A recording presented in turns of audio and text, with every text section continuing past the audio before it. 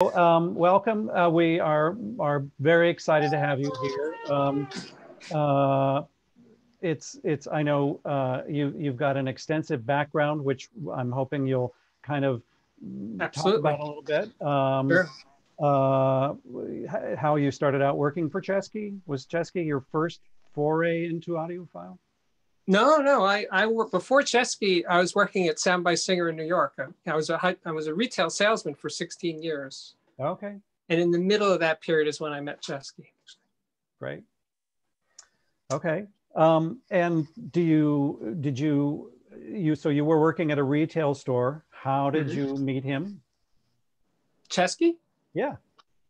Uh, well, um, the, the Chesky brothers, David and Norman, were sort of everywhere in those days. You know, they were building their company and there was a lot of interest and they were trying to sell their records at the store Sound by Singer. So they would drop by every now and then with new records for us to sell, that sort of thing.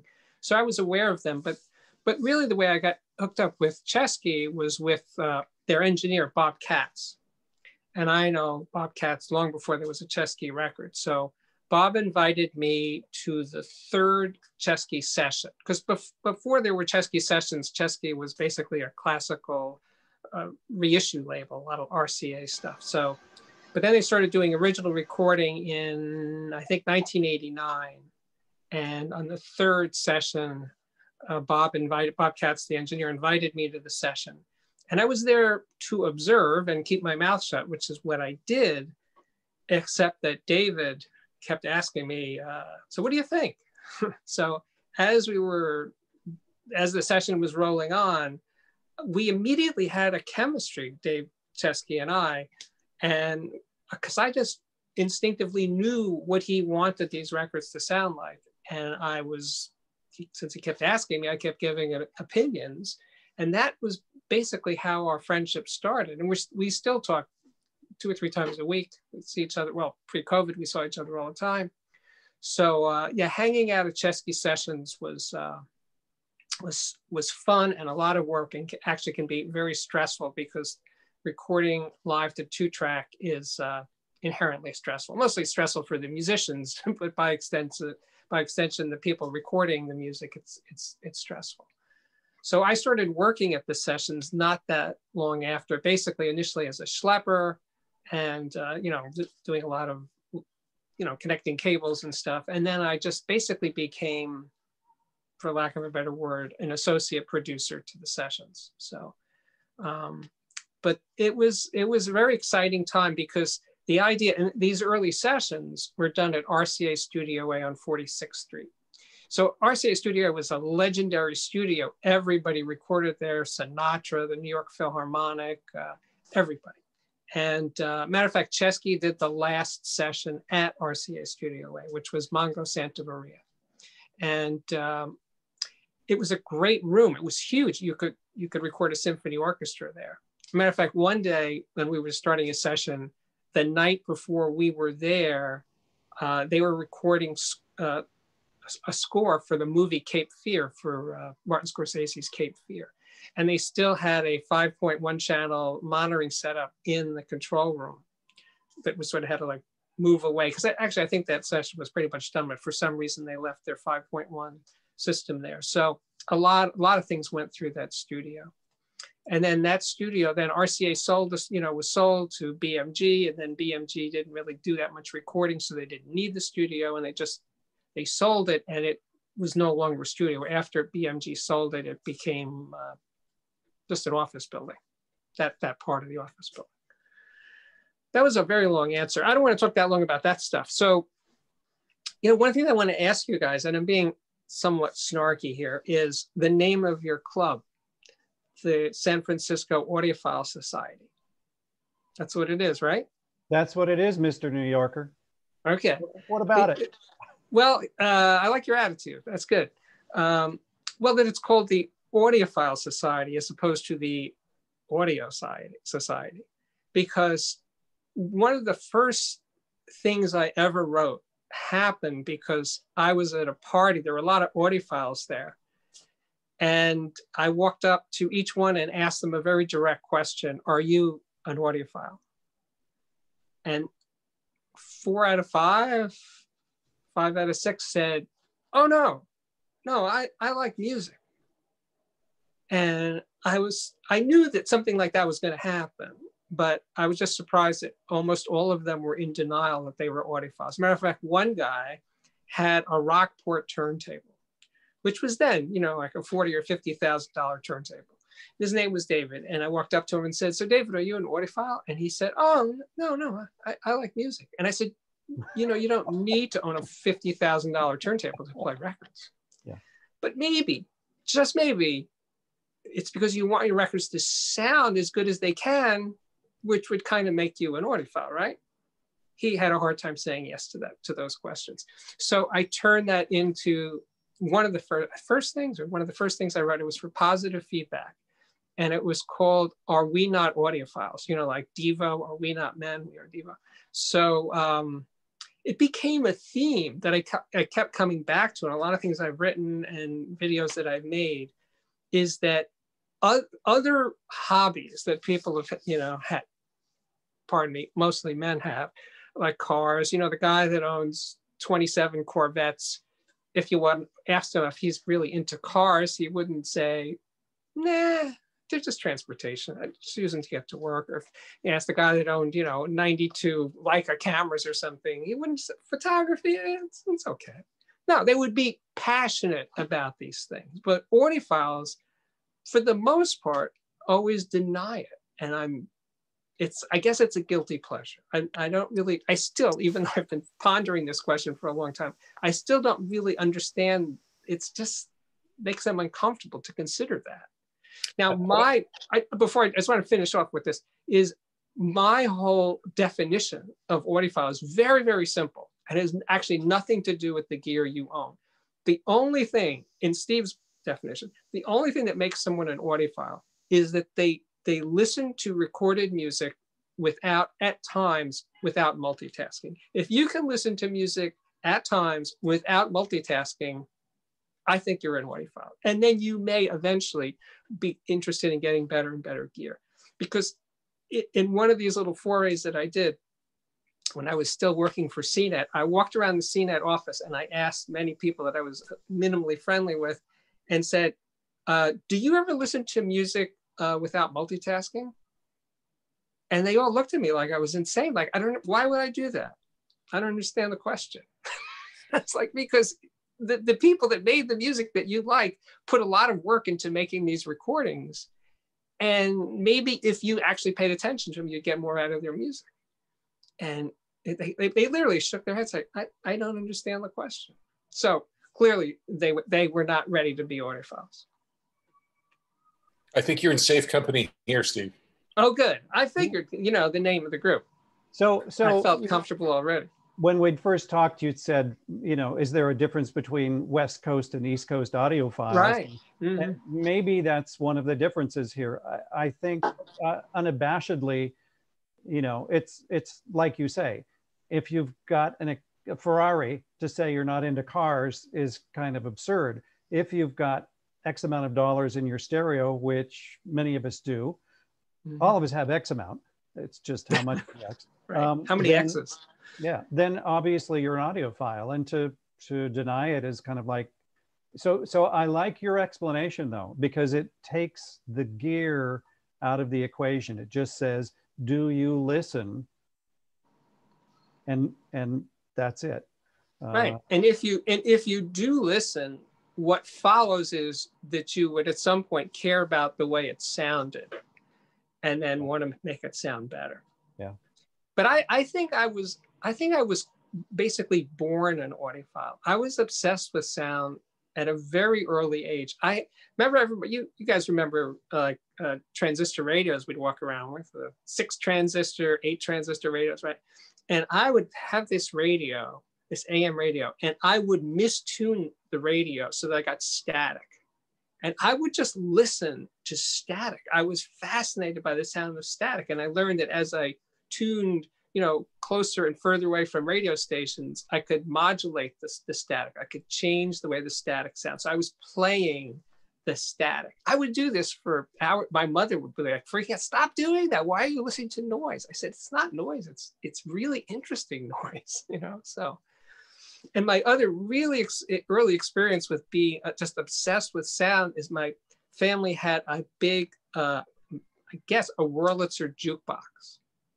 And uh, I would lie on the floor in front of the jukebox and play it and just listen to the ice. It probably had 15 inch woofers in it. It was, you know, this big, gigantic thing. And just listen to the sound of that bass, you know, roll, rolling over my body. It was a physical, visceral experience to listen to music for me.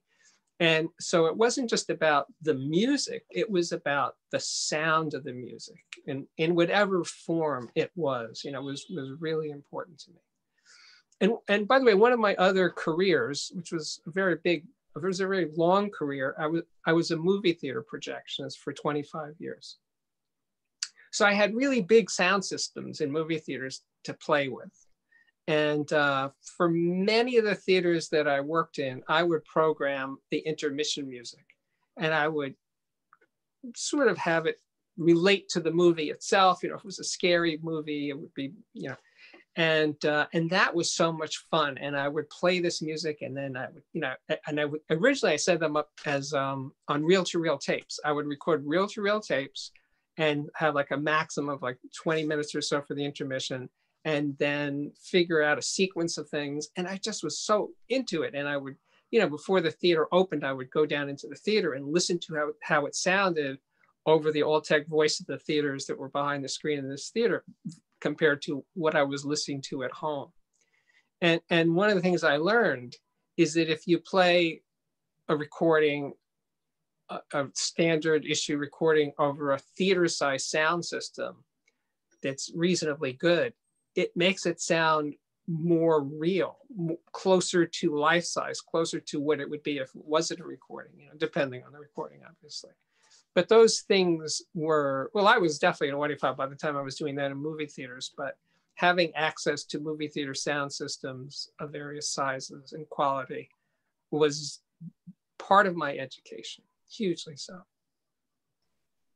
well that's fantastic so um, you when we first talked to you said you wanted to know what differentiates west coast hmm. audiophiles mm. from east coast audiophiles and i had the the question in my mind, well, is there anything to do with the size of one's dwelling, which I think dwellings tend to be a little bit smaller on the East Coast because right. space is a premium. And so my first question to you would be, is your system set up based upon your space that you have? And if you had a larger space, do you think you'd have a different system? Well, I mean, I, I live in a in an office, a building that it's a co-op building that started out started out life in 1922 as an office building, and it, be, it was converted into living spaces in about 1985, and I arrived here in 1989. So it was basically um, some of the floors closer to the top of this building. It's a 30-story building, or are smaller, but they're all relatively big. And on my floor, it's about it's four apartments on my floor. So that by New York City standards, it's not it's not small. Uh, and my my built my apartment is basically the the negative space between between two adjacent apartments. So it's not a rectangular room; it's an odd shaped room, which makes it really good for sound. And uh, I'm going to make an announcement to you guys first.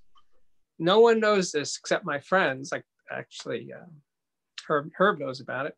Is that I'm in the process of buying another apartment in this building, and then that apartment is not going to be for audio. It's going to be for my wife's. My wife is an artist, and she's going to use that that second apartment as her studio. That means that I get to have her space in our present apartment. So my space is about to get significantly bigger. So um, I, like I said, my room isn't a rectangle, so it's hard to actually describe. It's it's basically about well, if you subtract my bedroom, it, it's about 800 square feet. So it's not tiny, not huge.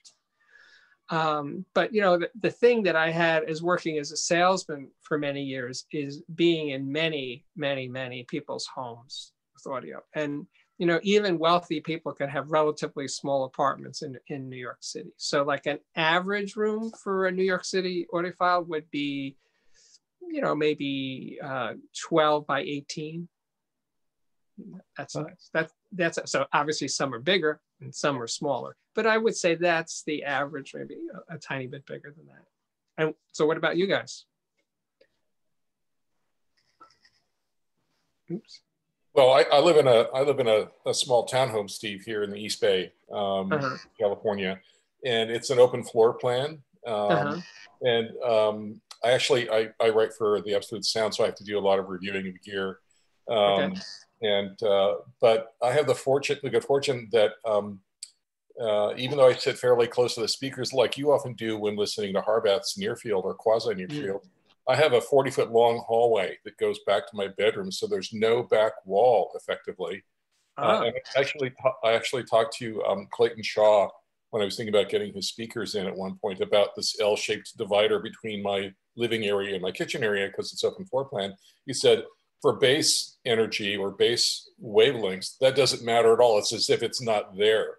Right. Um, so actually, even though this space is fairly small, I live in a townhome of approximately a thousand square feet.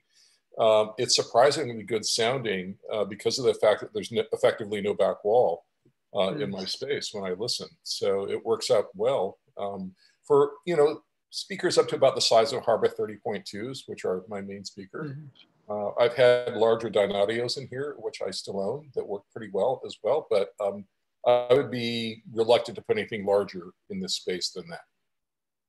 But you, what, what is the construction like? What are the floors and what are the walls? Oh, so the walls are drywall, the floors are laminate, um, but I'm, I'm paying a lot of attention lately to uh, some of the products by Norm Varney at, at, um, at um, AV Room Services and, okay. and, thinking about decoupling the speakers from the floor so you don't get mechanical coupling between the floor and the uh -huh. wall, get mm -hmm. 70 hertz um, sound pressure waves from the wall. So I pay a lot of attention to that. I'm a scientist by training, and so I, I think about transfer functions and all that sort of thing in terms of what's going on with the energy. Okay. So. Yeah, that sounds great. So, but what, what would you say? You've been in many audiophiles homes in, in San Francisco. I, am sure there's a range, big ones, small ones, but what, what would you consider the average? Um, I would say probably comparable to what you find there on the East Coast, about a 12 by 18 room. Okay. Um, you know, the homes here are bigger. Um, as folks that live here in the Bay Area know, median home prices are pretty darn high as, as an average, you know. Um, and so the folks that own nice systems tend to have homes large enough where they can, you know, okay. have a pretty decent sounding room. I would say mm-hmm. that what I've observed typically is that folks don't pay attention to two principal things enough, which is the uh, acoustical treatment of the room um, in terms of diffusers or, you know, um, uh, bass energy management, and mm-hmm. also putting speakers that are too large for the room in the room. Um, oh yeah, definitely. Yeah. Right. But do people, do people, you have, you, you guys have basements? Is that a thing? No. Not in California. Uh, yeah, I was gonna, that's why I was asking. Okay. We got basements here, and people and audiophiles that have their systems in the basements are. It's pretty hard to make great sound in basements. That's what I've observed. The other thing is that you know we, we do frame construction here for earthquake resistance, so there's there's effectively no brick structures in Northern California or Southern California as well, uh, because brick does not do well when there's seismic things going on. So everything right. is is is wooden frame construction, principally with drywall. Um, uh-huh. Yeah. The floors well, are, are cement slab for the most part. Yeah. Cement slabs make me nervous though. Why is that? Why? It just, the energy that goes into this uh, cement slab those weird things, maybe in terms of reflecting back into the speaker. Um, would, would, would isolating the speaker be beneficial? Yes. I've been looking yeah. hard IsoAcoustics rather yeah. than using tiptoes or cones or something. Yeah. I have these these these isolators. I just started playing with them from EVP. I forget what EVP stands for. Um, but they're like a weight, like a sandwich of of steel, um, uh, um, fiberglass, and steel. So and some rubber at each end. They look like and that's what they look like. Wow, what a great uh, illustration. Yeah. Yeah. I think those things are so far, I'm really impressed with those. I'm very impressed with them as well. And just to get to Brian's question, I have a friend that um, has a home custom listening room up in Davis, designed by an audio engineer in Davis for his room. And he has Martin Logan 13As. And I told him he should try these and put them under his speakers. And he says, Why? I'm on a slab floor. I said, Everything, everything has a resonant energy. And I can mm-hmm. assure you, your floor is resonating and it's coupling to your speakers and it's coupling to the walls and it's creating problems for you. And he was reluctant, but he put them under his speakers. And he called me and said, I can't believe the improvement that these made, putting these on my slab floor under my big speakers. What, what is that? So we've been called? screwing up all these years with tiptoes and spikes. Yes. Basically. Yeah. Do you remember Art Dudley advising to remove all spikes and throw them in the trash? no, yeah. I don't remember. But it sounds like something he would say. He yeah, didn't so like remote controls either. Throw those in the trash. Brian, these are EVPs by AV Room Service designed by Norm Varney. I, I can post a link for you guys. Please, please do. Yeah, they're great. Hey, Steve, you might remember reviewing the speakers behind me. I bought them on your advice. Oh, I hope you like them. Uh, 10 years later, happy. Oh, okay, I guess that's good. My, my wife says you can get any speaker you want, but we will never sell the Tannoys. Oh, wow. So you Which ones are they? I can't I can't see well enough to see what they are. the. Kensington you reviewed in 2010. You, you oh, oh yeah, yeah, like yeah. a fish with your favorite word, visceral. Visceral, yeah. I yeah I overuse visceral, right? I, I love it use, though. I got to use visceral less. But thank you. Oh, my pleasure. So Steve, yeah, well, I, I had I had a, a real experience uh, maybe two years ago with a Tannoy Arden, uh, vintage one, not not the current Arden, at a store, Stereo Exchange in the city, and it was the, the experience was that it sounded. I, I listened to a all 1970s system, so it was a Garrard turntable, an Audio Research SP3, a D110 power amplifier, and the Ardens and other stuff and I was playing only 1970s music on it. So I wanted to be traveling through time. And I started from maybe 10 feet away from the speakers and I was, I was into it. And then I backed up 10 feet because it was a big room. I was like, you know, I like this even better. And then I, I wound up about 30 feet away from the speaker. I was just playing them a little bit louder every time I backed up. And I said, I can't imagine too many skinny modern speakers being able to do what these speakers did and 45 year old speakers. So I, I, got a thing about it, just sort of planted a seed about speakers like that. And that's why it, it turned out that the speakers that I used, not Ardens, but um, Klipsch Cornwalls. So it's not exactly the same thing, but it serves the same function sure. for me. Somebody asked a question about how long you generally keep components in your system. Are there components that you're reluctant to part with, but that you feel you need to part with because you have to have a turnover to keep your reviews fresh? Um, it's not any specific number, but I would say uh, two years would be a long time. A year, around a year would be sort of average. Um, because you know this whole idea of, of reviewer having a reference system i know i know that sounds good on paper but the reality is is that my system was always changing anyway because i have to send something back and so it was just this always in a, in a state of flux. So um, I, i'm a pretty adaptable guy. And you know actually i like having different sounds. I spent many years having opposite speakers as my main reference speakers. I had Magnepans and Zu speakers simultaneously. And I would, when I wasn't reviewing speakers, I would, for my own pleasure, I was having, you know, a couple of weeks with Magnepan, a couple of weeks with Zus. I mean, they're really, really different speakers. And I love doing that. I had TAD ME1s, I think at the same time I had Magnepans, but I just kept look. I wanted opposite sounding speakers. I'm not the type who believes that I'm um, getting closer and closer to like perfect sound forever or something. I, I like the opposite. You hearing different aspects of recording by having speakers that are very different sounding. And same for tubes and solid state and same for digital and analog. You're just hearing this, this music in, in a different way. And none of the ways, none of the ways are true. You know, there, there's no ultimate truth. My favorite stereophile cover of all time, and I don't think I'm the only one that had this observation. It was um, some big Krell amplifier and a Cary 805. And, and the text on the cover said, if one of these is right, the other one must be wrong. Now, the right one and the wrong one would depend on who it was that was listening to them. But there is no right answer. And even if you were present at the recording session and you and it was a straight ahead audiophile recording that didn't have a lot of mixing and effects and stuff, even then listening to a recording over different it, it's not like you, you say oh yeah this is the one and anything that i would change from here on would somehow diminish that that reality of what i was hearing on that session i don't really think so i think it's so different recorded music you know it's like george martin when he recorded the beatles he didn't hear what was in those recordings right it's so much easier to put the sound in the recording than it is to get it out of the recording. So what he what he heard out of those recordings as the decades roll by, he was probably pretty surprised as to what was in those recordings. And he was there. So there's there's no ultimate truth in audio. We, we can think that there is, but I don't really believe there is.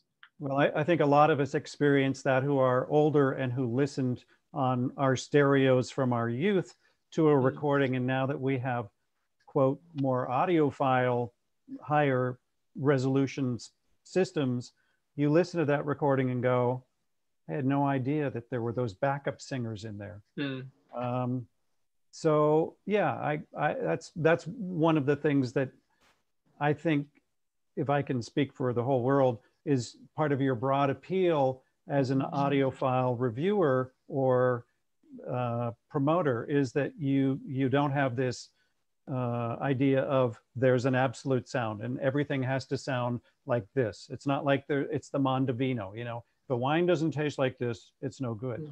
And you actively promote having multiple systems so that you can hear the same music or different music through different systems.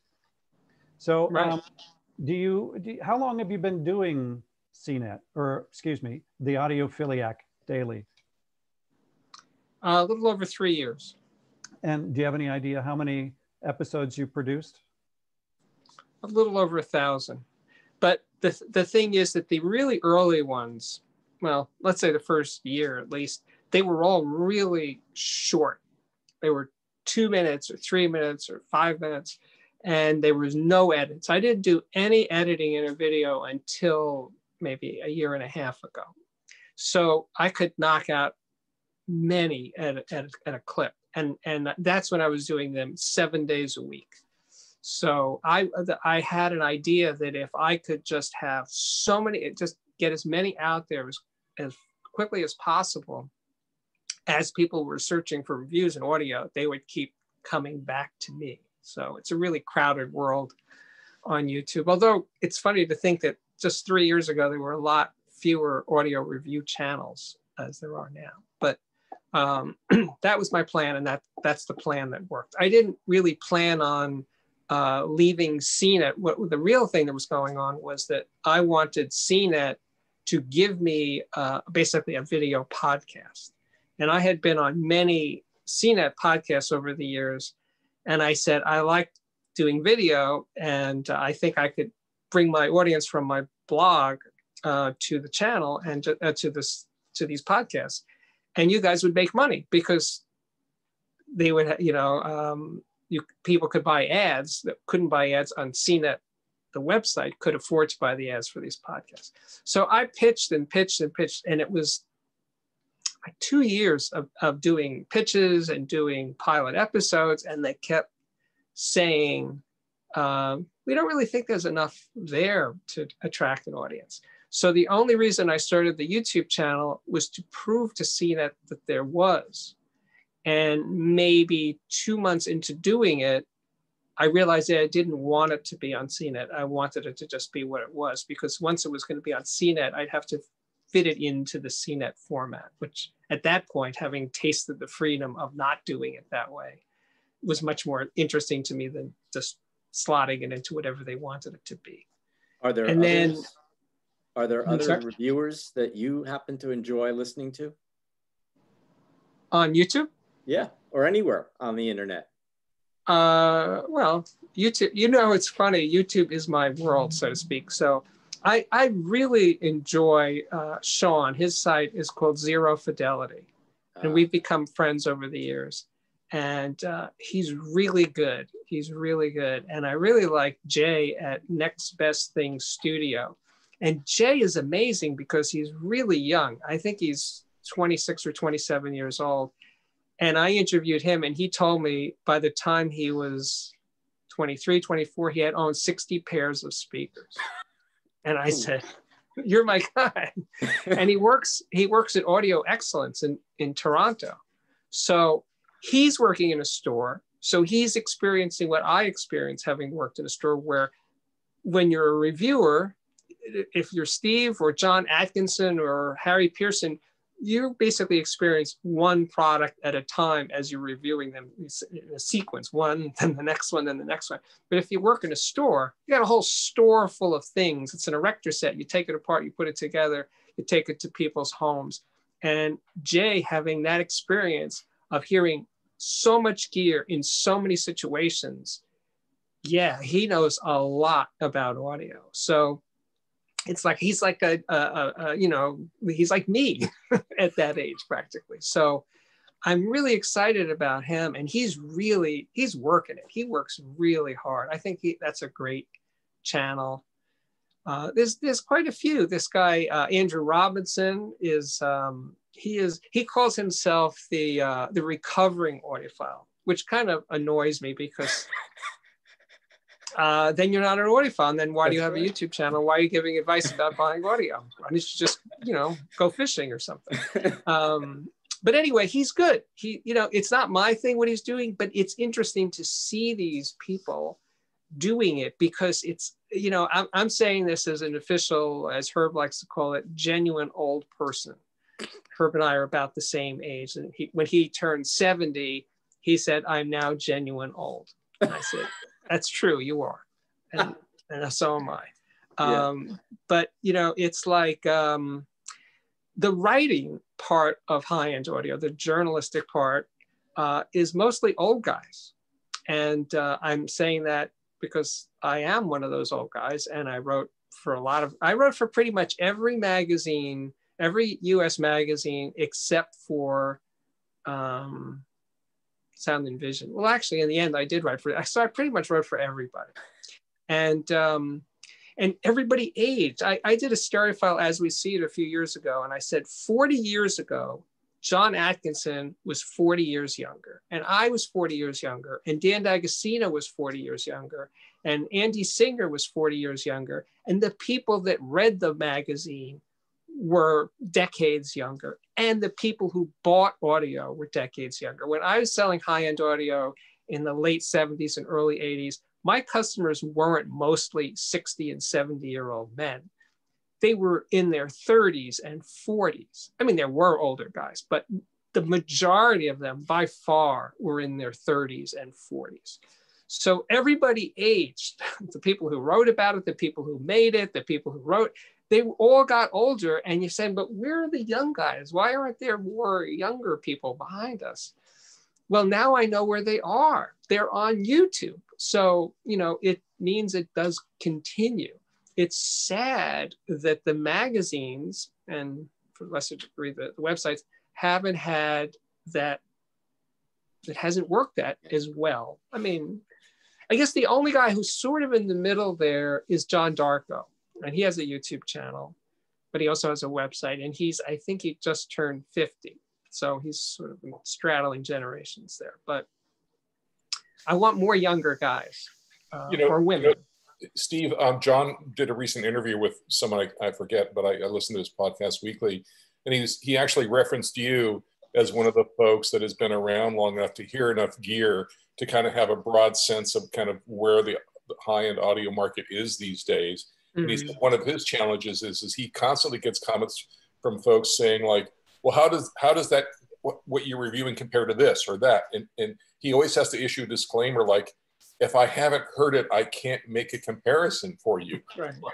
I, you know, and he said there's very few people that, that that that have been around long enough to have the breadth of experience to be able to speak to these things. And he mentioned you and Atkinson, you know, having been around long enough to kind of have this knowledge base of how these different products kind of, you know, compare things. Yeah. It's sort of like it's sort of like wine tasting. You have to have a sonic memory in a sense. And I'm not yeah. sure everyone has that either.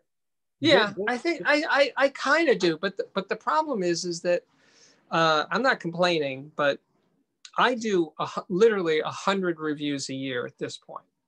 So you know, a stereophile writer but does basically one a month or a column if they have do review and a column. So maybe they do two a month or three a month.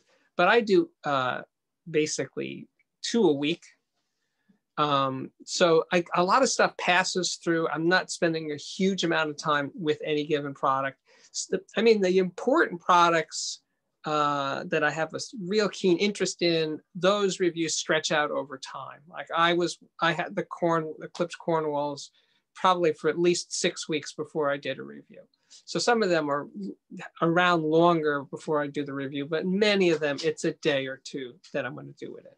So um, it's it's I I to be honest about it, I I you know the thing about writing reviews, I have to be um, honest as they say, is that what is communicated in a review, um, a stereophile review, an absolute sound review that requires 3,000 words, because a, a, lot of the time it just turns into I, then I play blah blah blah and then I play blah blah blah and then I play blah blah. It's like, but in terms of describing the product and to me the most important thing about describing the product isn't that it has a six inch woofer it's that what's interesting about the product to, to, to, describe everything that's in a speaker or an amplifier or a DAC or something i personally don't find all that interesting i want to know more about the, the story of the product you know it, it, it's interesting that companies like um, Zu or Magnepan or Klipsch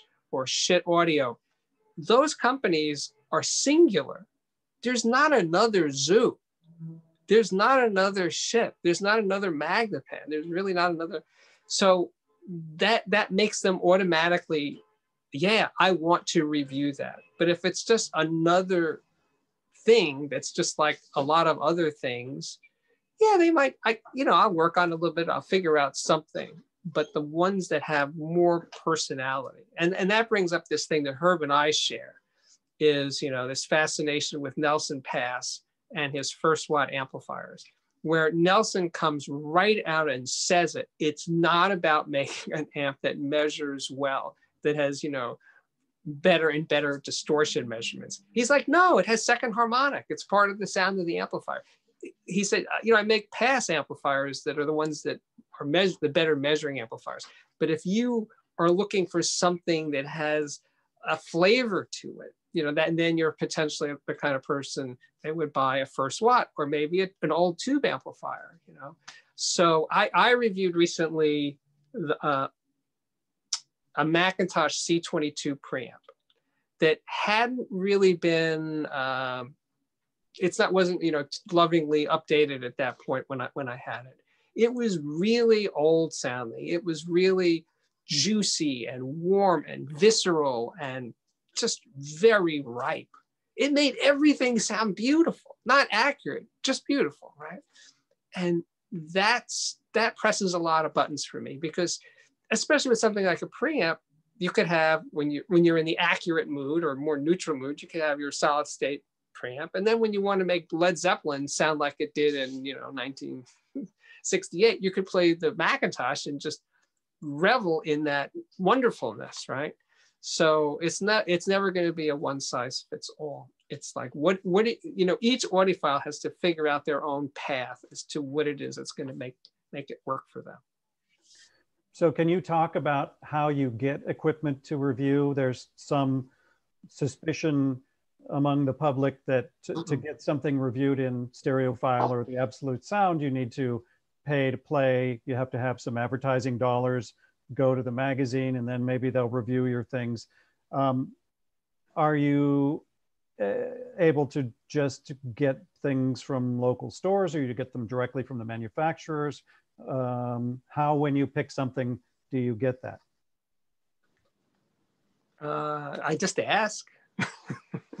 um, I don't get everything I ask for, and a lot of things I ask for, I wind up not actually reviewing. I mean, I should I should explain that. Uh, first of all, the whole pay to play thing. Uh, well, I, I wouldn't I would never, and I have never done anything like that, remotely like that. But the thing is, I, I would admit to being very subjective in my reviews. I'm giving, certainly in YouTube reviews, but also when I was writing, I'm giving you my impressions. And part of my impressions, and I think I'm pretty direct about this, is how I feel about the company, about the people at the company or the, the designer of the product or something. You know, we can't we, well, we could, we could try to pretend that we're no, there's nothing there. We're just being 100% objective judges of these products. Um, no, I don't think that, I don't think I would ever say that, that, that I'm, I'm 100% objective. I have feelings about products and I think I'm pretty explicit in describing those, those products. You know, I, I'm not going to tell you who it was, but I was going to review a preamp and the designer said to me that he never actually listens to them. He just measures them. And i said i can tell. I can tell you never listen because they don't sound that good. And um, and i remember Jim Thiel saying that he only listened at the very end. He wasn't like refining refining refining. He was working you know you know, on a desktop designing, and then he would have a prototype and he would listen. But it wasn't like a listening experience. Now, Andrew Jones, and you guys have heard Andrew speak. Now, I don't know if he ever said this this part to you, but he told me that he started out in the audio business at KEF, but he never designed anything for KEF. At KEF, he measured things. He measured KEF speakers and he measured, measured the competition speakers and I don't remember how long he was there, three years or something. He said he had so much experience measuring and listening that the idea of correlating what measurements mean is, is the thing that makes Andrew Jones Andrew Jones. Because all over the internet, there are people that measure speakers and stuff, but they don't know, they can't really um, understand what it is they're measuring. It's they, they can just say, oh, look, there's a peak here. It's but that's not that's not the point. I mean, measure Andrew once told me this thing I thought was really interesting. He said he designs, let's say, a tweeter, and then they build a prototype tweeter for them, just one. They send it to him, and then he measures the tweeter. And he said, but if the tweeter doesn't measure as I anticipated it would, the first thing he doesn't do is say there's something wrong with the tweeter. He's like, I have to figure out I'm not, I don't think I'm getting everything here. I need to figure out how to better measure this tweeter. Because even for Andrew Jones, just sticking up the microphone in front of the, of the speaker isn't really enough. You have to be able to understand and interpret what measurements are telling you. And that's what's lost on so many people who measure things for just amateurs on the internet or even as many professional reviewers who, who measure you know, I, I, I just have to, because I enjoyed it so much. When I was uh, writing for Tyll Hertsens for InnerFidelity, now he's a real measurement kind of guy.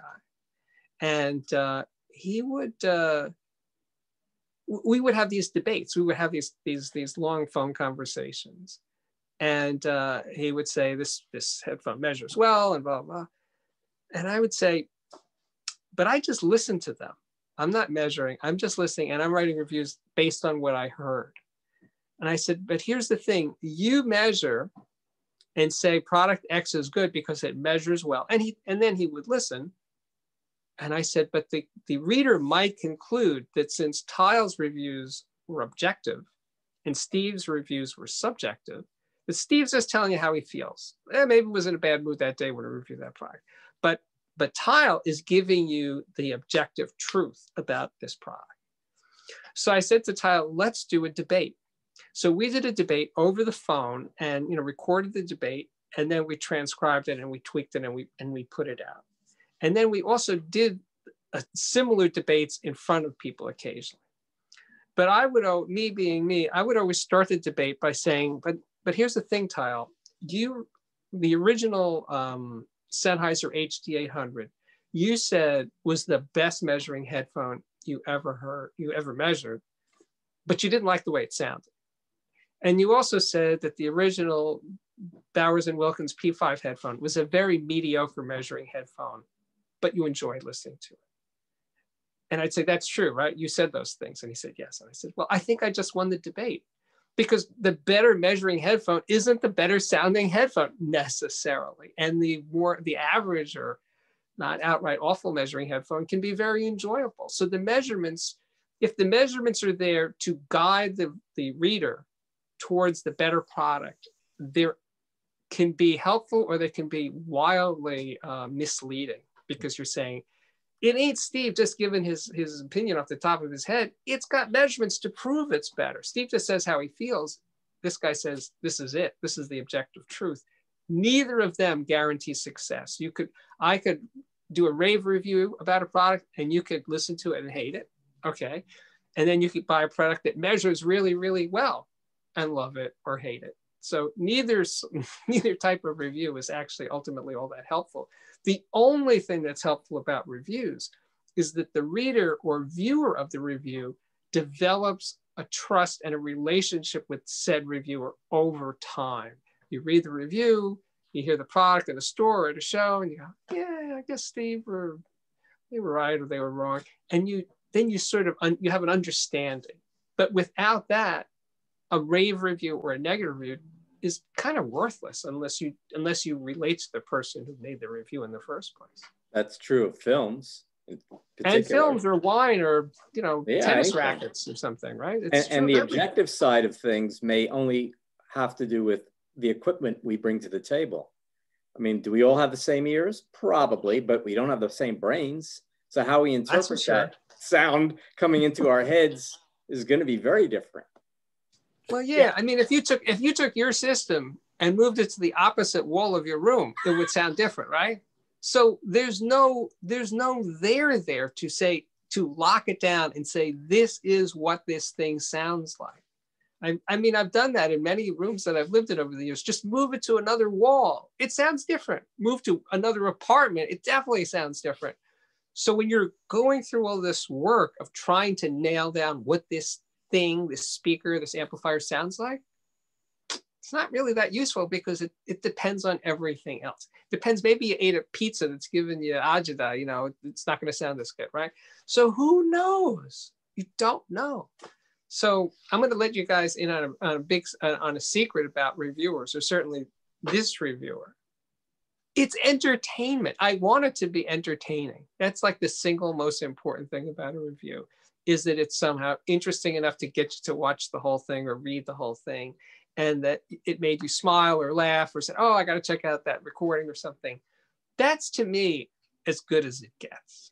The actual usefulness of the review well you know people tell me that they bought something that i you know gave a good review to and they agree with me and that when i hear that that's very very nice. And not too many times do people say that i was wrong.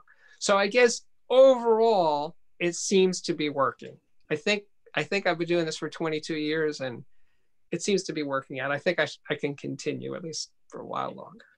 I think, what do you do when you have something that you find is negative mm-hmm. that didn't turn out to be what you thought it was going to be? And in, in essence, it might be a piece of junk or not very, you know, that kind of thing. Well, usually I don't review it because the thing is, um, doing a negative review, especially of a product that no one's ever heard of, is really kind of useless because I'm going to tell you about something you don't know about and say, this is bad, don't buy it. So I normally wouldn't do that review. I have done negative reviews at CNET because at CNET I was assigned products to review. I didn't have any choice. They said, review this, and I would. But when I'm picking the products to review, I would rarely do a negative review because it wasn't it wasn't useful.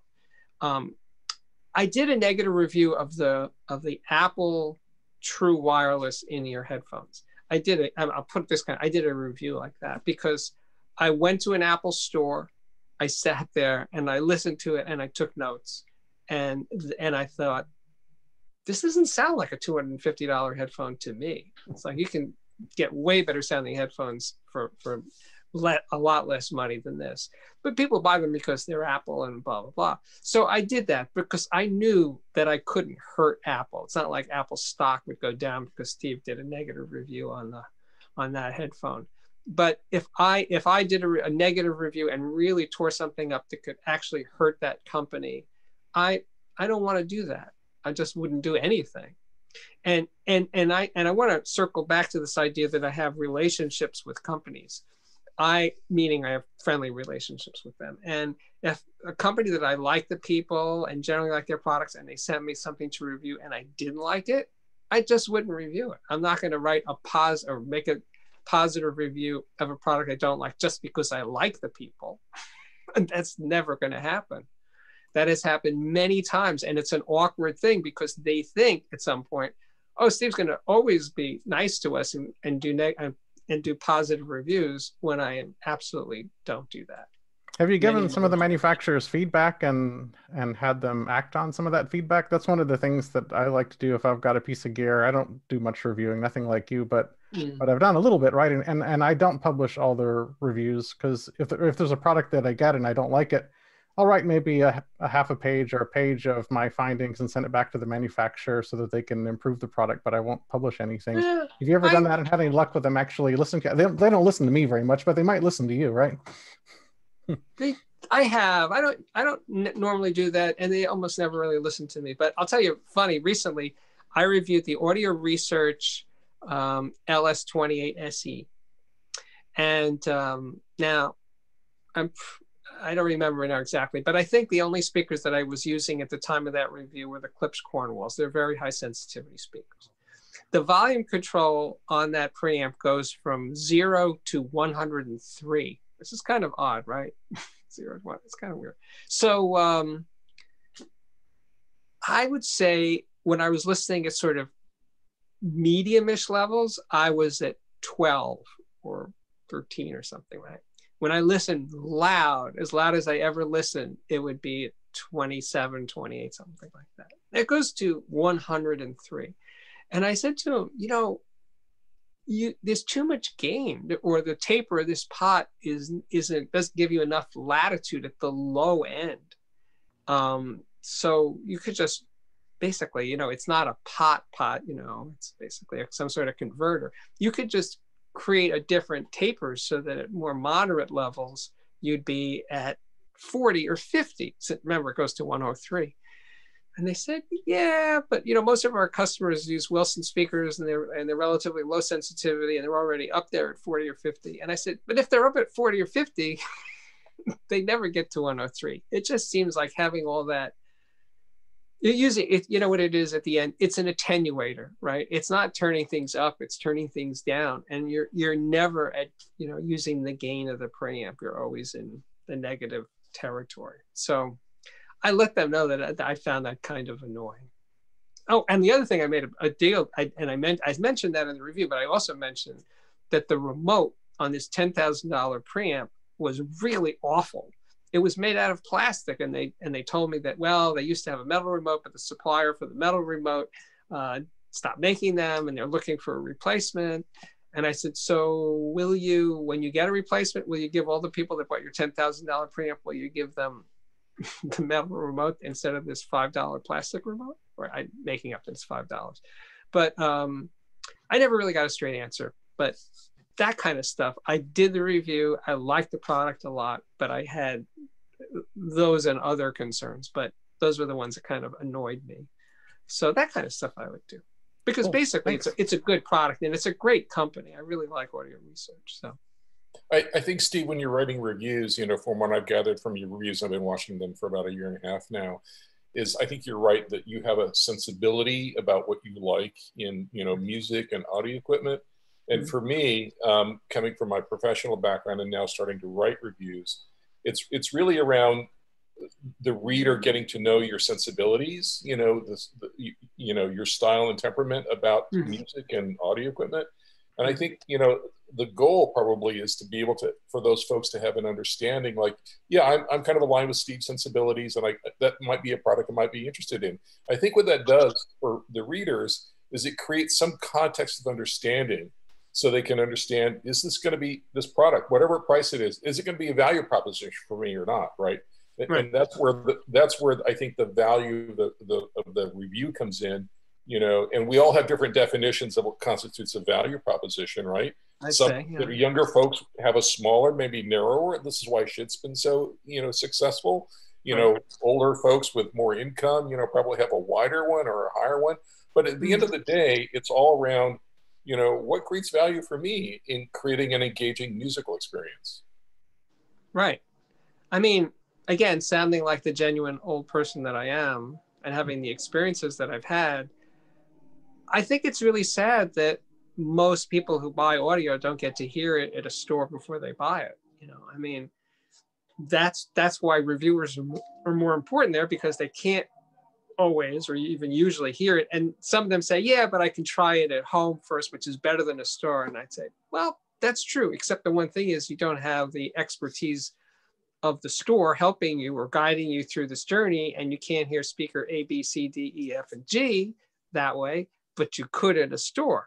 But uh, actually, Andrew Robinson, this guy I referred to earlier, has a channel, a, a YouTube channel. He did one, he did a video about this recently that audiophiles were killing high-end audio.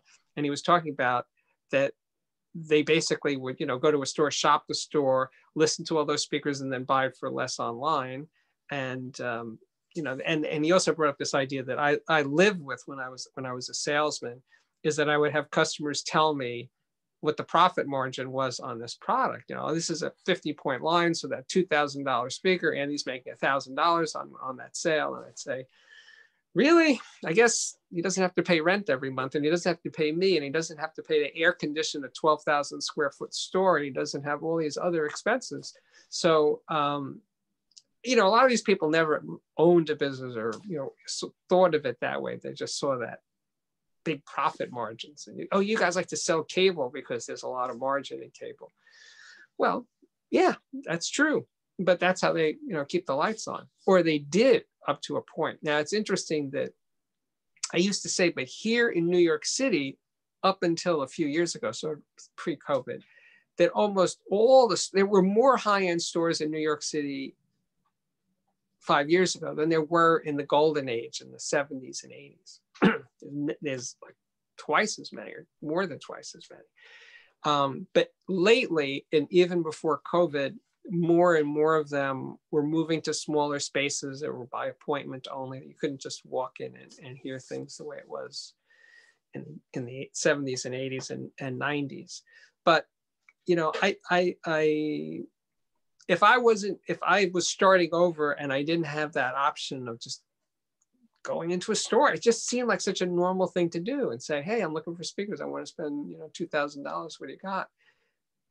What a great way to figure out what you got, even though it's a store and even though it's going to sound different in your house and all that other stuff. The main value of doing it was in the store, you got to hear one against another against another. So you were hearing them rel- speakers, let's say, relative to each other. It wasn't perfect, but in terms of figuring out what your taste was, it was much better that way. Wish we could, you know, go back in time and make all those dealers materialize because people would be better off. But since that's not going to happen, they have me. they have you. That's that's that's as good as it gets. I'm sorry. I'm sorry it worked out that way but I do, I really do enjoy um, making videos. I enjoyed writing vid- videos, but I mean, I enjoyed writing reviews, but um, the 16 years that I sold high-end audio of doing thousands of demos with people and sitting in a room and saying, so what do you think? And then they would say it. And I said, okay, let me try this. I, I literally did that many, 10,000 times, whatever, lots and lots and lots. So I sort of had this feel of what people are looking for, right? You could play, you know, uh, a soft sounding speaker and they could t- still tell you it sounds bright to them, right? So it's not like the, the, the, language that they were using to describe the sound that was giving me the salesman feedback to help them towards a, you know a better outcome wasn't a hundred percent but by trial and error we eventually got there or, or not or they went to another store and bought something else. But w- there was a back and forth to it that i really really miss. Not not that i would want to go back to being in sales because i really feel like i i did that i don't need to go back but um, it was it was a great experience. And the, and the other thing I wanted to talk about, by the way, is I thought all those years of meeting so many people in in the business, the you know Dan D'Agostino, just so many that you just felt their passion for for making these things. You know, nobody really gets into high end audio to get rich, despite what a lot of people think, right? I once asked David David Wilson, maybe it was in the year maybe it was the late 90s. I was asking him about something. And he said, I, if the money that I make, I couldn't buy my most expensive products, you know, whatever, whatever that number was. He said, I can't afford to buy, you know, an X1 or Excel. a WAMM or something. He said, I don't make that much money. So even the guys at the, at the top of the craft are not rolling in dough. You know, some of them do, but not most of them. So, uh, but being around them and feeling their passion about what they do for a living and just trying to make better and better products and take real pride in what they do was phenomenal. Absolutely incredible being around so many people. And if you go back, if, I guess some of you guys used to go to CES and on a regular basis and you'd go and you'd see the high-end exhibits and then the next year you'd go and two-thirds of those companies you never heard of didn't make the second time you went. And there was a whole new crop of new companies and then the next year most of those were gone and then they would be replaced by other new companies. That so many people say i want to do this and i'm going to spend you know my savings to do this thing and go to ces and all that and fail most of them fail miserably. So, uh, but they do it anyway. That's a beautiful thing. What you're talking about that's missing is the dialogue that you can have with a representative or the manufacturer. I remember the first time I went to RMAF, and one of my favorite rooms that the entire year there, that I, and I went through all the rooms, was Sean Casey's room, the Zu mm. room, with a Peachtree integrated amp. Right. right. It just created this wonderful experience and Sean is such a wonderful guy to have a conversation with that it was one of the most memorable experiences I had at the entire show. Right. And he was on the floor playing records, right? Not the typical owner of a high end company. No. Yeah. When I first met Sean, this is a funny story. I, I, I, I met him at a show and I wanted to review them. And I was writing for this magazine called Home Entertainment and Design. It was part of the Robb Report. And I went to the editor, Brent Butterworth, and I said, I want to review this speaker. And he goes to the website, he's looking at the speaker. He said, Steve, this can't possibly sound good. and I said, Well, here's the difference between me and you. I've heard it and you haven't. So we're, you know, we're having this conversation. And he's like, Yeah, I can tell you're really into it. So you should do the reviews. I said, Great. So I get the review. I get, I do the review.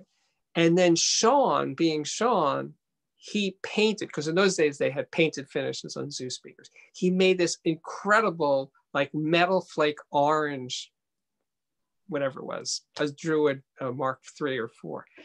And he got in his truck and he drove to malibu where that where their offices were. And he goes to the reception area it's kind of weird to think of a of a magazine that actually had a reception but they had a reception. And he goes in and says hey i want to see brent butterworth. I, I brought speakers for photography and he wasn't there. So he said, "Oh, I'll, come back in an hour." So, but can I leave the speakers in the, the this reception area for the magazine? I said, "Sure." So, so he, drops off these two, this pair of metal flake orange speakers, and when he comes back, like everybody's going gaga over the speakers. Like, I've never seen speakers that look like that. So he meets Brent.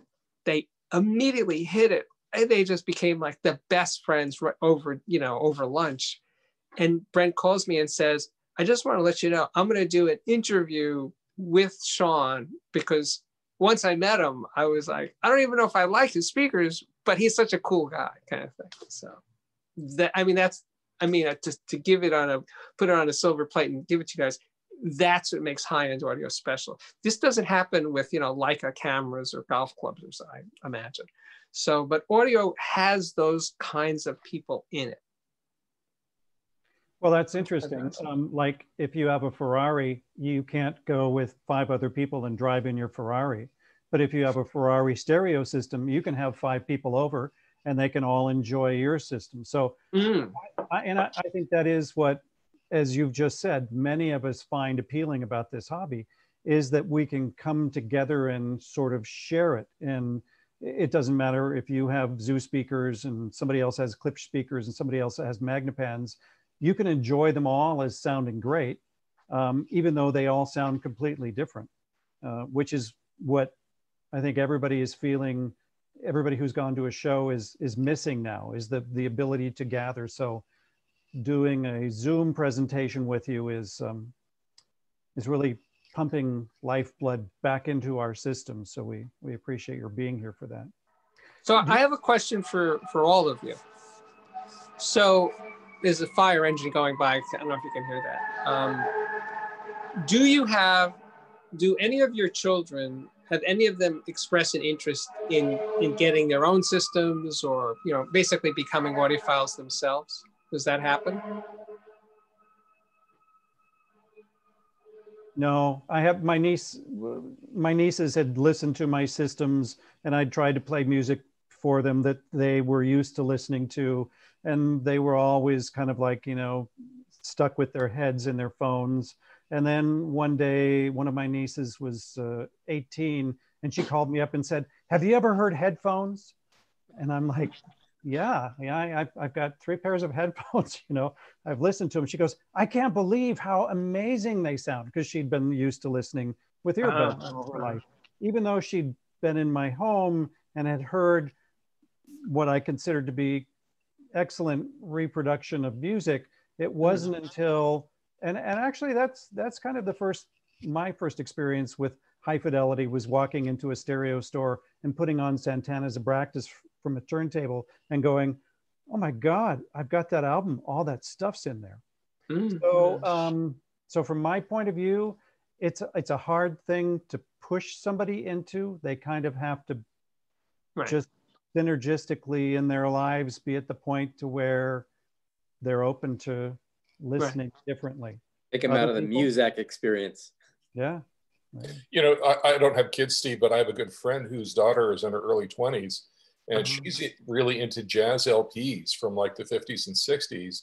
And okay. I'm helping them put together her first system for them. Oh, and, right. and in fact, they're building an amp camp amp, oh. Nelson, for her first system. Okay. Wow. And and, and some of um, uh, um, the speakers from um, uh, uh, gosh, I can't GR Research, Danny Danny's company, GR Research, some Encore speakers, and uh, uh, they're buying some Schiit components for them. Uh, uh, and she's going to start spinning vinyl uh, uh, around her birthday, which is which is going to be really exciting. That is, yeah. No, I don't actually own a turntable myself, but I bought turntables for both of my kids, and um, and as far as I know, at least one of them still uses their turntable to listen to records from time to time. And they like my daughter especially likes the listening to records because it's a little bit more of a sense of occasion than streaming something. So she'll mm. actually sit down and listen to, you know, at least one side of a record. Where streaming stuff, it's all kind of shuffle play background music. Yeah. So, I, I people tell me that all the time that are you know they just get into it and they notice that they listen they listen to a whole record rather than one song at a time. Hey Steve. Yep. Uh, I have a son who's you know graduated from Stanford with a with a degree in electrical engineering, number one in his class. Now he's a wonderful pianist. He loves music and he has a one of those nine and a half foot D model Steinways in his house. And um, you think they own a television? No. Do you think they own an audio system? No. They do not like it. And you know, he's even buddies with all those guys up there at CNET because they all graduated at the same time. Uh-huh, uh-huh. So it was. It's just interesting how to me how a person who grew up around audio, because I've always had an audio system in the house, he right. hates the dumb thing. Yeah. His, his, piano is his audio system. Oh, that works. but I, I still would wonder, but... you know, yeah, I've, I've, I've been to this show before, but I would still wonder, well, I wouldn't some wouldn't, wouldn't he want to listen to Glenn Gould or something? Yes, he could say my piano sounds better than any recording. I go, yeah, I got that, I'm sure, but don't you want to hear great pianists? You know, so. I but if he's a creative, he's a creative Take type. Time to listen. He's my son always says he's always working at something. He's okay. the senior engineer for Verizon, you know, and wow, yeah, he's he's got it made, and uh, he works very hard but to listen to music takes time. Hmm. Well, maybe later. so he's not an audio audiophile. And Mozart he's not an audiophile. Yeah, he's a yeah, music. Well, he's a musician. Yeah. So out of 59 people, um, basically nobody stepped forward. Steve or uh, David Snyder said his kids have turntables and they do listen to album sides. So by your definition, that might make them audiophiles. Um, yeah, sure. What's been your experience with other people that you know in a larger capacity? Um, not much. Yeah. yeah. well, uh, I'll tell you one. I'll tell you one that was really good though. So one of my wife's friends, uh, uh, her daughter, um, basically got her father's um, record collection, and I got I got out and I helped her buy a turntable, and she gave me this great line. So she grew up listening to her father's music, right? So she knows it really well. And she said that listening to the LP as opposed to streaming it, she said it was like reading literature in the original language. And I said, bingo, that's great. I'm going to use that. And I have used that line because she's since since it's in her that music is in her and has heard it that way from lps for her, even though she was then around 30 years old, hearing it streamed, she knew the difference. She knew what it wasn't, that where it was lacking, right? So she, it was already in in her head as to what music sounds like. So she was open to the idea. It's not like she went on, you know, got, you know, magical speakers or anything, but she she knew the difference. She appreciated the difference. It's interesting. We had Paul McGowan on a while back, and this topic came up and he said, you know, the, the young audiophiles are not missing. They haven't gone away. It's that they don't have the money. And when they come of age in their 40s and 50s and they have some disposable income, you will see them come along just as, you know, we're all in our 50s, 60s, 70s, and we've got more expensive systems than we had when we were young so will the people in their 20s, 30s, 40s, when they get older and have disposable income, they will come along and buy the equipment that manufacturers are still making. Is that true? I'm. I, I, I I vigorously disagree that that's that that's the excuse that they don't have right. the money. Yep. I do not accept that. You know the the uh, the Dyn the Dynaudio the um, Dayton Dayton audio B652 Air speaker, which you can buy on Amazon for $50 a pair. It has a six inch woofer. It's not, it's not a Dyn, it's not a Dynaudio speaker, but it's $50 a pair. And it's actually very listenable. It has uh, an air motion transformer tweeter, a really tiny one, but it but it does. And I and I reviewed it, and then around that same time, I reviewed this this thing from Parts Express called the Lepai, L-E-P-A-I. It's a tiny little integrated amp. It's class H. It costs around $30. So you hook up your phone to that and you have a hi-fi system that's 80 bucks. And you know what? I've listened to it way more than I ever needed to to write about it or make videos about it. So this excuse that if you're young, you don't have any money, that's why you're not an audiophile or you're not buying nice systems. I do not accept that. I mean, I gave you an extreme example of really, really cheap. But you know, the dying, the uh, the Andrew Jones Pioneer speakers, the SPBS 22LR, that speaker is now around a hundred dollars on hundred dollars a pair on Amazon. It's really good. it is really good. So, I mean, I could go on, I'm not going to, but there's plenty of very, very, very affordable systems. I did a whole video about many choices for systems that altogether were $500 or less. So no, that's not that's not a valid excuse. Not, and it really comes down to what people are willing to give their time and attention to, and exactly like, focus exactly. more than how much they spend, and and and setting them up right. You when you got those fifty dollar speakers, you put them probably on stands that were maybe an order yeah. of magnitude nicer than. I can't speakers. help myself. Yeah, but I mean, you know, if you set things up, even if they're inexpensive, if you take the time to set them up carefully and make them sound good, rather than just setting them on the floor like maybe a lot of other people would do um, then you can really appreciate them. And you're absolutely right. It's it's time and attention and, and a desire to to take whatever you have, no matter what it costs, or if you got it for free on the side of the road or from your uncle or whatever. A lot of people get it for free. It sound nicer. You know, one of my neighbors, he found um, a Nakamichi integrated amp and something else on the street.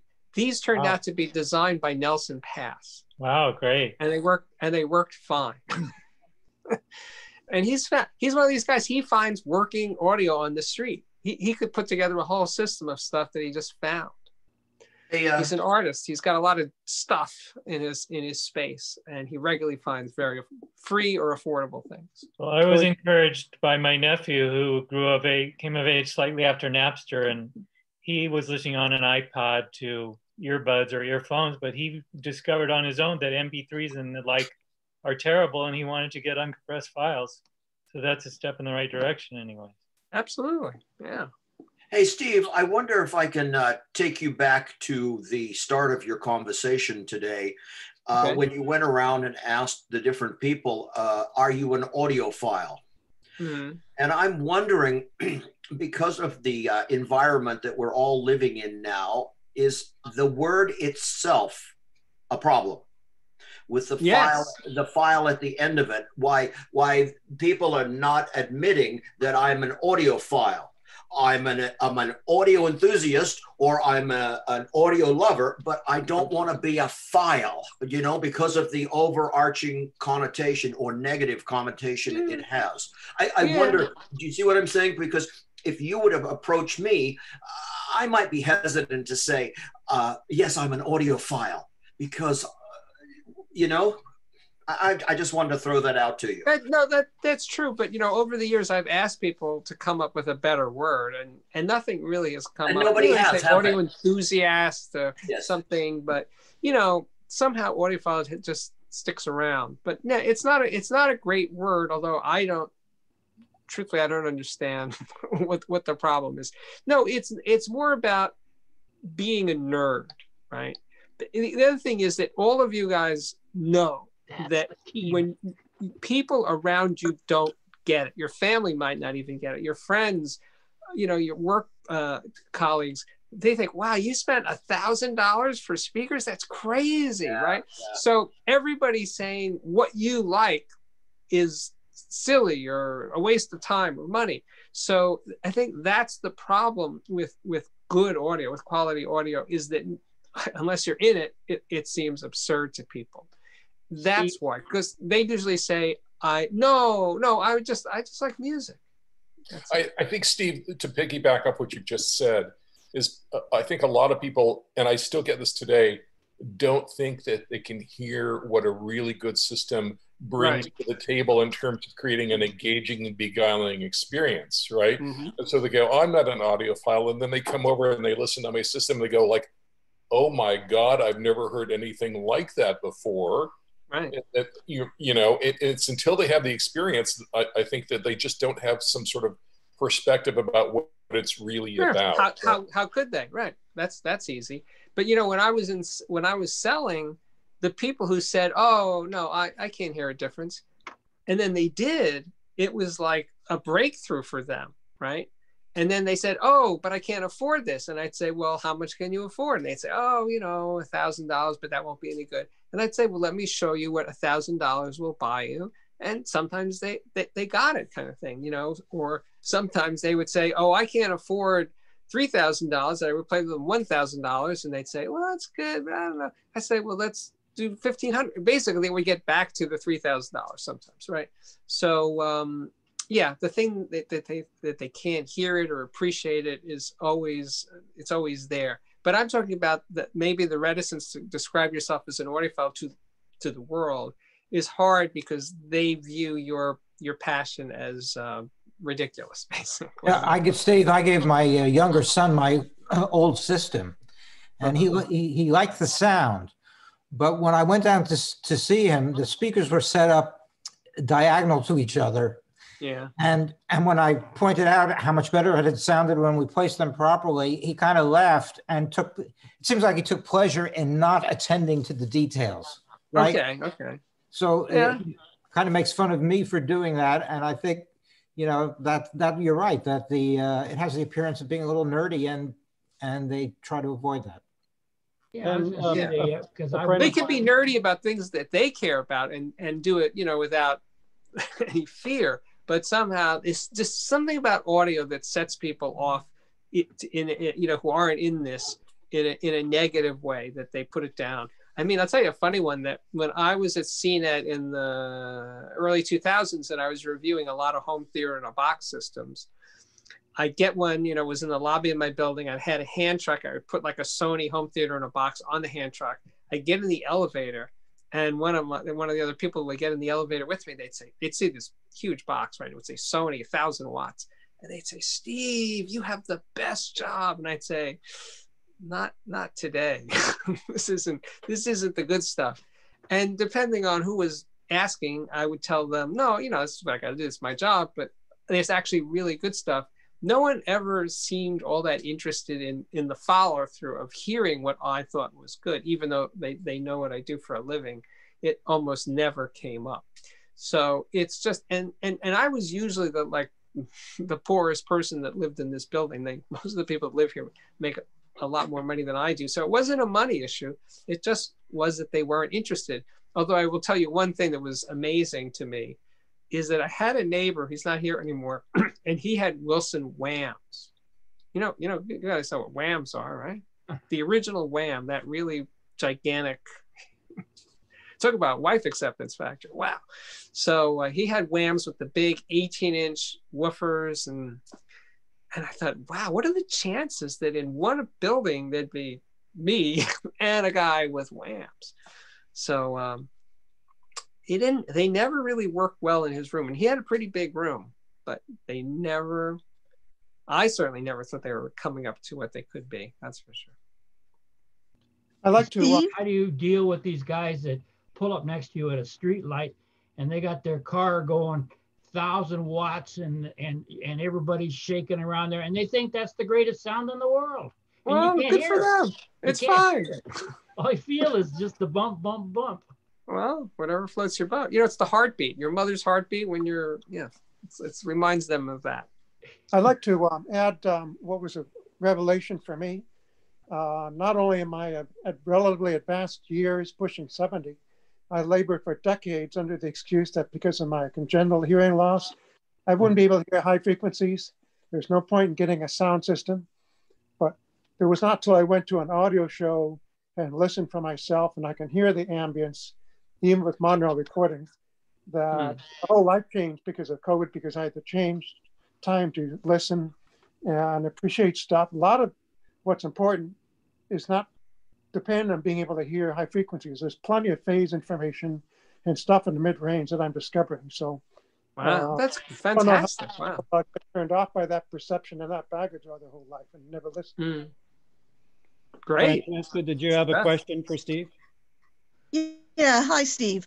Hi. Um, what do you think about the resurgence of uh, the analog and independent record stores and uh, record store day that they did this year? They split it into three things, and um, a lot of young people seem to really start to embrace the analog side of it and are coming into the industry from that end of it. You know, it's in, I think this is uh, uh, unexpected that when I'm there's a store in New York City called In Living Stereo, and the owner of that store is younger than most of the other stores. He's now he's about 50, but he's had the store since 2001. And I noticed that when I hang out in that store, his customers tend to be younger than the, the than the other stores. And the ratio of his customers that play only vinyl at home, have no digital at home. I've, I've had many conversations. They say, oh no, you know, when I'm out, I'm listening on my phone or in my car, I listen to digital. But when I home, when I'm home, I only play records. And I would say 80% of his customers that are under 50 or under 40, they only play vinyl at home. That's amazing to me. And it may be uh, only, you know, older records that they're buying on Discogs or maybe new music that I'm, you know, not to- totally up to speed with, but their their passion for playing records is really amazing because it's not nostalgic to them. They just find it more interesting. I think that there's I see this I see this also Steve in um in photography because I'm also a photographer mm-hmm. and and kids of that generation younger adults of that generation also love physical prints, photographic prints, mm. as well as LPs. And I think there's something, t- the, the tangibility yeah, of yeah. a photo, a real print or a real LP creates meaning for them in their lives. And, and that's why they they enjoy LPs and, and photographs and things like that. Whereas digital, it's so ephemeral, there's nothing to kind of, in a way, create some s- sort of, you know, holding on to it in, in terms of your own experience, right? Absolutely, yeah. Yeah, well, I feel that way. I mean, I play records that I bought when I was a kid that I still have and enjoy. And when I when I take that record out, it's it, it I think about all the things that are attached to that one record, where maybe where I bought it or where I was when I first heard it, those kind of things. And if you if you came along 50 years you know later than me and you grew up only listening to files, how will you feel when you're 50, 60, 70 years old about music that you never touched. I, do, I don't know how that works. Maybe that doesn't actually matter at all, but it might. And I think for some of the younger generation, they're starting to understand having a physical copy, especially an LP of something that you're going to hopefully travel with in your life is very valuable. What else what else could people own that is useful to them, not just something they have on a shelf that they look at every now and then, something that they actually use that they bought 50 years ago. Not much, right? what else would you use that's 50 that you bought 50 years ago? You know, it's like going out and they're trying to sell these veggie hamburgers. I don't uh-huh. want those. I want a real burger. Uh-huh. It's the same thing. So Steve, yeah, how much? but you... not a fifty-year-old burger. Don't don't eat those. Oh well, you're right about that. Steve, how much do you listen to LPs versus digital now? And to, what do you use for re, both for pleasure and for reviewing? Uh, well, you're my the thing about the ratio of of analog to digital is I find that if I'm listening to records you know, in an evening, I'm pretty much only listening to records. I'm not an, LP, then I'll listen to a file or something, then I play. No, I only play LPs or I only stream or I only play CDs. I don't mix it up usually. I mean, I might if I was needed to do it for a reason, but normally, left to my own devices, I play one format or another. And which um, do you um, tend to choose in the evening when you're listening? And I would say it veers towards analog, but it's I wouldn't say it's it's um it's probably less than 50%. It's it's not the majority. And do you what, what do you think are, or do you find that there are generic differences between analog and digital? Or the differences that... to me are not just you know the, the technical part of it. I think that vinyl when it's working is just more engaging. You're more involved in listening and with digital, it's easier to ignore. Or you find yourself reading a book or something as you're playing digital. With analog, you're more likely to be paying attention. That's what it comes down to for me. Steve, this morning I picked up one of those, uh, what do we call it, French uh, uh, Louise Louis, I can't say it, Louis Louis records, a, a, a vinyl, and I decided I want to play it. And okay. I and it sounded just like a CD to me because uh, in the upper frequencies it was a digital recording, and that comes. Uh, and it's not a. It was. A, it's one of the worst records I have, and this was supposed to be a top of the line LP. Mm. And, and they digitally record it and it has so much glare in it in the upper frequencies. I actually took it off because I said, I'm just not going to touch this anymore. Yeah, it's too bad. And that and that album, you know, was not an inexpensive record, but they tried to trick me into thinking it was. Oh, well, that sucks. Can you get your money back? You think? Oh no, I'm gonna do that. You know, it's not worth it. Okay. But it's you know what I mean. It, it's just it's just that I, I, I was shocked that a record label like that would put it on digital and then expect me to think it was a good analog recording, mm. which didn't even that's come not, close. That's not cool. Yeah, that's not all right. Nope. So, uh, have you got a top five list of items that you've reviewed over your long, industrious career, which is still going on? Um, like maybe top turntable, top speakers, top amplifier. Yeah, that's a good question. Digital recording, top recording. Um, well, I mean, I think um, I have to say that the, the, the Cornwalls that I'm using right now, which I've had for less than a year, I, I think these might actually be the ones that stick around longer than average because they just they, they they speak to me. They just have this energy to them. And you know, one of the things I think that's interesting about horn speakers is that um, other than classical music, when you hear live music, it's coming. The PA system is horn are horn speakers. You know, movie theaters are horn speakers. So the the live music to most people, except for classical, comes through horns. So having a horn speaker at home, it sounds more live. you know, I think that's part of what's going on.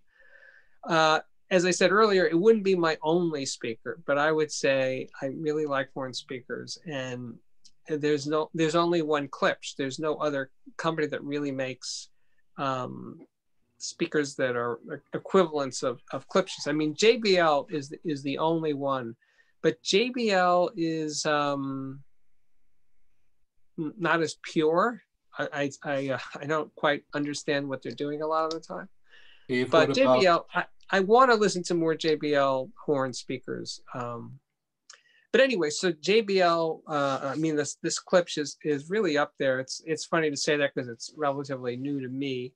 Um, but Magnepans, I definitely have a thing about Magnepans. I just love the speakers. I love the company. I think it's one of those companies that it's it's not expensive enough. It doesn't get enough respect. It's like the Rodney Dangerfield of high-end audio. Mm-hmm. Uh, they, they, they, their speakers should be twice the price that they are. Have I have I lost you guys? Are you still there? Steve, have you heard the Voltis? It's you know he positions it as a better Klipsch. Yeah, yeah, I've heard them absolutely. Um, I like them, but I haven't spent enough time with them. He was gonna he was gonna bring them to me one year, and then it just kind of fell through. Um, but yeah, I do like the Volti, especially that really his his big one. I forget is that called Vittora, I think that speaker, I've heard it at many shows and it's really, really impressive. He even makes them work in small rooms at shows. So I like, I like that speaker a lot. Um, but I, you know, I own a, um, an SME 15 turntable and uh, I really love this turntable. And I think that beyond that, it sounds good. It just feels good to use it. I owned a VPI Classic, an original VPI Classic for many years, and I thought it sounded good, and I really like Harry Weisfeld. But I never enjoyed the feel of that turntable. It just kind of, I don't know, it, wasn't wasn't wasn't working for me. And I've owned Linn LP12s. I've owned three LP12s, and I I really love Linn's. It's been a long time, but the problem with Linn's is that I don't think the company it's really into turntables. They still make them, but they're more interested in selling streamers than they are in selling turntables. So they're they're they they've moved on from the whole thing of analog. And I had a Roksan for a few years, and I, I like that one a lot. In terms of electronics, I really am a, a fanboy of Nelson Pass. He is the, he is the complete package for me. I, you know, I went to see him about a year ago, and I hung out with him in his his home and he is such a he's such a character. He's so he loves what he does. And you know he's he's he's he's arrived at a place where he can just do what he wants. He doesn't you know work in the factory. He doesn't have to deal with the business aspect of it. He just essentially plays and comes up with things and stuff. And the fact that he designs so much stuff that he can't build it all. He can't sell it all. He's got so many ideas that he gives them away you know on the internet for free. He's he is he is in that sense a genuine hippie. He's not in it to make a lot of money. He gives us his stuff away all the time. So um, just being with him was was amazing. I don't know if you any, any of you knew about this thing that he did in the late 70s he made this thing called the ion speaker. It was just a one-off thing. It was a speaker he told me about it at the time I, unfortunately, I never heard it, but he said, Steve, I'm going to make a speaker that has no moving parts. There's no diaphragms to this speaker, um, and it can play DC to light. And I said, Really, Nelson, you're going to do that? And he said, Yeah, I'm going to do it. And he did it. And he, he brought it to CES. And for some reason, I wasn't at that CES. And the one catch to the speaker is it created ozone as it was, it was as it was playing. And he was in the room doing demos for you know a couple of days and he got really sick because he was basically suffocating so that was the end of that but he did it just to, just to show that it could be done like can you make a speaker that doesn't have a moving diaphragm i actually well, i, I actually did. that I actually went to that CES show, Steve, and I sat in the room a couple of times listening, oh, yeah? listening to that ion speaker. Uh-huh. Yeah, the, the, the problem was it was winter, of course, and the room, all the windows were open because it was generating so much heat with this flame right. that was burning right. up. But it right. was an interesting, interesting concept. Yeah. A full range, not like an ion tweeter, but a full range speaker. So yeah. So anyway, I love I really love um, him and his passion and his just he just does it. And of course, the whole the story of Schiit audio is is right up there. I mean that you know it, it's just uh, the Schiit um, Schiit turned 10 years old earlier this year, and I was surprised they didn't make more of a thing about it. But when I interviewed Jason Stoddard about it recently, uh, when they started that company, he and Mike Moffat, they had a lot of advantages over most people that start a company. But it was it was hard, hardly a sure thing. And that you know they started making the asgard amplifier a class a fully discrete amplifier and sell it for $250 made entirely in the us not entirely but like 80 90% of it was from us source parts. And um, amazing. And they kept you know coming up with one amazing idea after another and Jason Stoddard is an engineer, but he also does all the marketing and he designs that website. And I think it's by far the best audio website in the business because it's it's informative, but it's entertaining. It looks great. The photography is great. Answers all your questions, and the prices are incredible. When I do these these uh, slideshows of having my viewers send in pictures of their systems, Schiit products are by far the most popular products. And there is a way that young people who say, oh, I can't afford spend. No, you, he makes a DAC for a $100. It's really nice, you know? So it's an incredible company. Their one misstep was the turntable, but it even seems that the turntable's sort of getting, they're getting their act together with the turntable too. The, problem with the turntable is they aren't mechanical engineers. And yeah, so you, that's a, that's a, that was a failing, yeah. To be successful with your first turntable. Yeah. But I agree with you. I've been buying their, their products for, since they began and I, I love them. You know, they made a little DSD DAC. Did you ever hear it called the Loki? The very first Loki? No, the uh, Loki isn't a DSD. It's the EQ. That's no, no, no. The first Loki was actually a DSD only DAC when they were just putting it out to test the waters back in 2009 timeframe. Oh, I don't remember that. Right? Okay. You know, and it it it's amazing sounding how good it sounds. Right. Mm. I, I'm probably one of the 50 people in the U.S. that bought it, but um, I've got a lot of their products. But I agree with you. I think the reason they're successful is they understood the concept of value proposition. They're very good engineers and I remember an interview with Mike, like, why are you so successful? He says, we're cheap. You know, it's that simple. We're cheap. We make good products and they're cheap. Yeah. And again, there isn't another Schiit. I mean, there are others that are kind of like hi-fi is sort of like it, but not with the range of things. I mean, Schiit's hundred dollar, hundred and twenty nine dollar phono preamp, the Mani. That is amazing how good it is. Moving coil, moving magnet, hundred twenty nine dollars, made in the U.S. Well, and the the price points are great because you can experiment with different products and being able to do that. And I, I also think one of the challenges in audio is uh, we're almost too serious. We have to make it more fun. Mm. And if, mm. I agree your point, just even the name Schiit, right? Oh, yeah. Notes, we don't take ourselves too seriously and do that. it's, it's the first place I go to recommend people to buy products is Schiit. Because if you if you $99 you don't like it, you sell it for 79 on eBay. I right. mean, it, it all works. As soon as that, when they arrived at Rocky Mountain the first year, I, I was in awe. that everybody here's how to start a successful company everybody is talking about your company you hear about this company called Schiit what a crazy idea that's that can't possibly work why would you buy something called Schiit so it worked really well. It instantly was the talk of the show.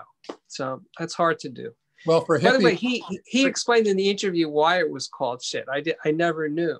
He said that you know as they're moving towards launching the company at, at that point it didn't have a name. He kept saying to his wife oh i got i got shit to do. I got to move this shit. Where are we going to put all this shit? And his wife said why don't you just call it shit? And that was it i, I thought it was from the old days when you would smoke really good shit yeah well that's the beauty of the name is you can apply it in so many ways right you can go ape shit over this shit i mean it's just and then, of course, he wasn't going to call it SHIT because that was going to cause a lot of problems. So he came up with this whole thing about how it's spelled and stuff. But just amazing. The, the funny, so, any other questions? Yeah, the funny thing about our hobby, though, is is that it's not like you're buying a single item, right? And and and, and driving it around. Right. We, we're, we're not dealing with Bugattis or whatever. We're, we're dealing with complex systems that, and then you have the experience of having been a dealer. You know that there's an anchor point somewhere, and the anchor point usually is the speaker itself because it's typically the most. It has the greatest deviations in terms of absolutely sonic yes. footprint. Mm-hmm. So I'm wondering how, if you were to get back into the business today, and I know you're not, uh, how how would you approach and and help people understand sort of where to begin. Where to, you're on the yellow brick road or about to get on there, Dorothy. where are you going to put your foot? well, but what you just said, I would say, and I, have I've made a video about this. Even though there's the old Linn idea about the hierarchy of the system that you start with the source and work your way, I think that is sort of works if you know what you're doing. But if you do it the other way and start with the speaker, find the speaker because I, I advise people to try different different speakers and if possible different types of speakers like magnepans or electrostatics or open baffle listen to as many speakers as you can however and then figure out what sound speaker sound you're looking for and then work backwards from the, the speaker to find okay now you figured out you like electrostatic speakers what amplifier is going to work best with that electrostatic speaker you know like that so that's that's that's my advice. I think that is by far the most logical way of doing it. I have a question for you, Steve. Okay. Uh, will you consider adding auditions of pieces you're reviewing? Because I noticed my newer MacBook Air has a much improved sound quality.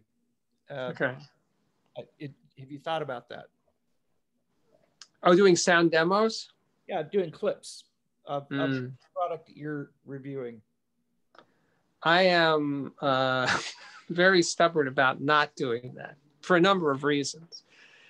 So now I have friends that have tried to do it. And the thing is, miking the room to record the sound coming out of speakers is really not possible. I mean, people make the mistake of basically putting the microphones or a binaural head in the listening position.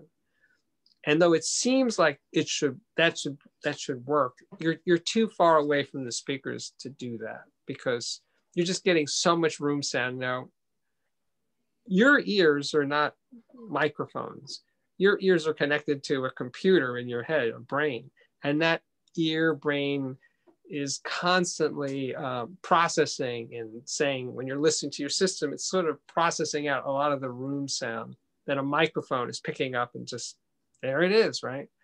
So I've never heard anybody do a sound demo where you could actually hear a center image. You just get this very roomy sound.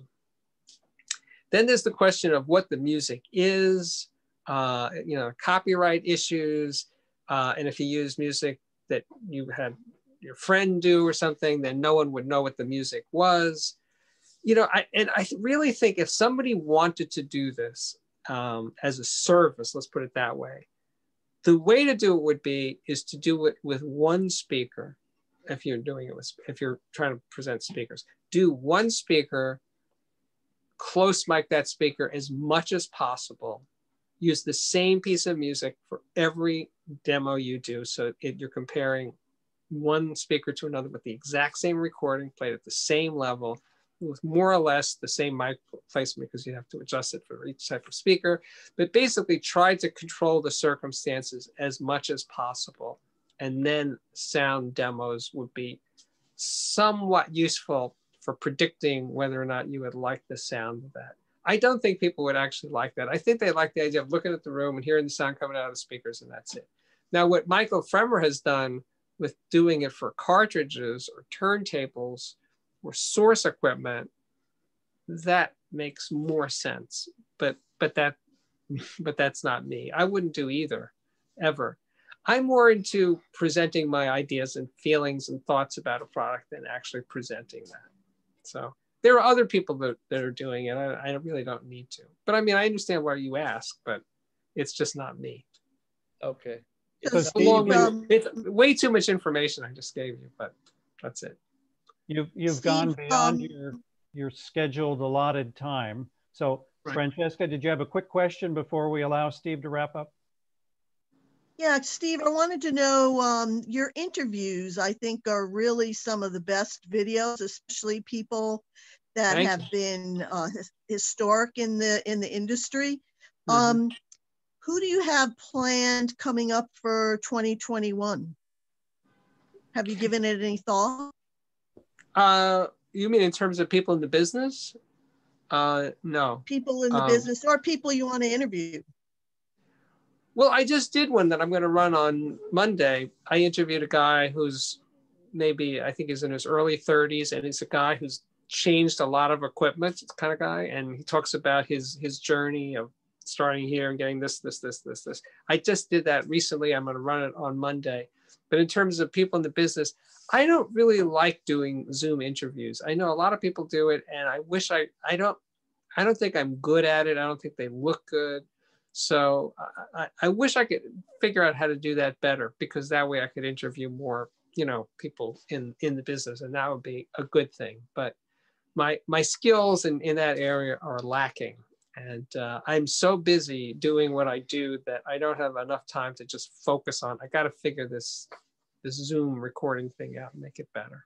But I'll do them, you know, if if if I really really want to and they want to, I'll I'll do it anyway, even though they'll look like crap and sound like crap. But I will. But thank you for for the compliment.